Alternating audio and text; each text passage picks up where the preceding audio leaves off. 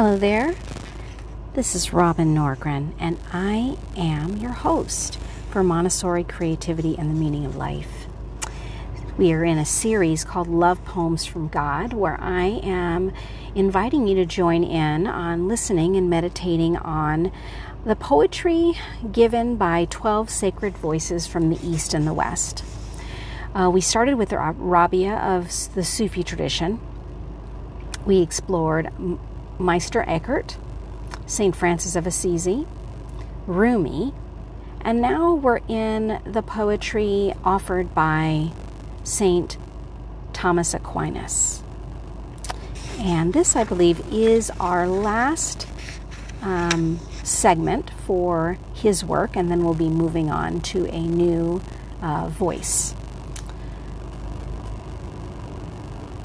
His first poem is called Otherwise the Darkness. I have a cause. We need those, don't we? Otherwise, the darkness and the cold gets in, and everyone starts to ache. My soul has a purpose. It is to love. If I do not fulfill my heart's vocation, I suffer. The next one is called All Things Desire. All things desire to be like God. An infinite space is a mirror that tries to reflect his body, but it can't. All that infinite existence can show us of him is only an atom of God's being. God stood behind himself one night and cast a brilliant shadow from which creation came. And even this shadow is such a flame that moths consume their, themselves in it every second, with their sacred passion to possess beautiful forms. Existence mirrors God the best it can, though how arrogant for any image in that mirror, for any human being, to think they know His will. For His will has never been spoken. His voice would ignite the earth's wings and all upon it. We invent truths about God to protect ourselves from the wolf's cries we hear and make. All things desire to be like God. All things desire to love. You cannot be what God is not. All are having a relationship with God. A pear taken from a limb and set in a bowl. Surely it is talking to its Lord and happy that it is being honored for its life and somehow knowing that soon it will be returning to Him.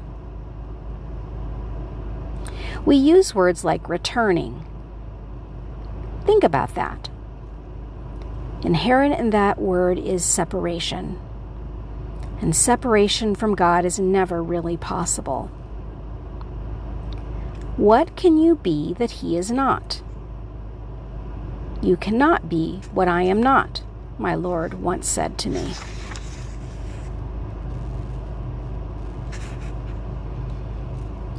God's nature.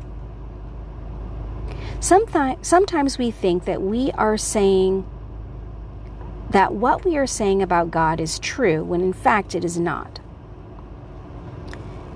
It would seem of value to differentiate between what is God's nature and what is false about love.